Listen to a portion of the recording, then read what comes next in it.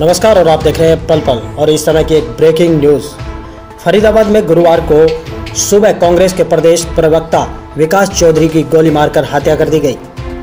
दो हमलावरों ने विकास को जिम के बाहर आठ से दस गोलियाँ मारी। वारदात को अंजाम देने के बाद कार से हमलावर भाग गए। इस पूरी घटना का एक सीसीटीवी कैमरे में फुटेज सामने आया है, जिसमें साफ़ नज़र आ रहा है कि जिम के बाहर कार से उतरते ही हमलावरों ने विकास को कई गोलियाँ मारी। पुलिस के मुताबिक घटना सुबह करीबन 9 बजे की है। विकास यहाँ सेक्टर 9 स्थित जिम में पहुँचे थे। तभी अचानक उन पर हमला हुआ। अस्पताल में उन्हें मृत घोषित कर दिया गया। वहीं विकास चौधरी को प्रदेश कांग्रेस अध्यक्ष का बिल्कुल करीबी माना जाता है। कई सालों से सक्रिय विकास राजनीति में तेज़ी से आगे बढ़ रहे थे। वहाँ पर इसी दौरान कई उनके दुश्मन बन गए। इसी दौरान उन्हें भी इस बात का अंदाज़ा था इसलिए वह हमेशा अपने साथ तीन से चार निजी सुरक्षाकर्मी रखते थे। प्रदेश में है जंगल राज। हरियाणा के प्रदेश कांग्रेस अध्यक्ष अशोक तंवर ने कहा है कि प्रदेश में जंगल राज कायम हो चुका है।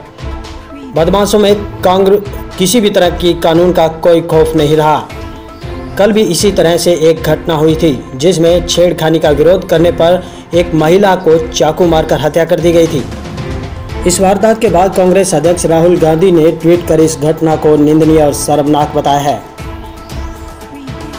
उन्होंने अपने ट्वीट में कहा कि यह हरियाणा की बिगड़ती कानून व्यवस्था का आईना है। प्रभु श्री चौधरी की आत्मा को शांति दे और परिवार को आघात सहने की शक्ति दे। ये राहुल गांधी ने ट्वीट किया है। आपको बता दें कि घटना की सूचना मिलने पर अपराध जाँच शाखा, सेक्टर आठ थाना पुलिस और डीसीपी क्राइम ने मौका का मुआयना किया। डीसीपी राजेश कुमार ने बताया कि बदमाशों की संख्या तीन से चार हो सकती है। हत्या का कारण अभी तक कोई पता नहीं लग पाया है और आरोपियों को गिरफ़्तार करने के लिए अपराध जाँच शाखा की सभी टीमों को सक्रिय कर दिया गया है।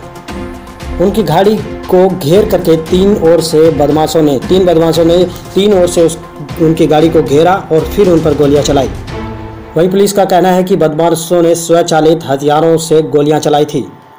गोलियों की संख्या 15 से 20 भी हो सकती है। आप देख रहे हैं पल पल फरीदाबाद से विशेष रिपोर्ट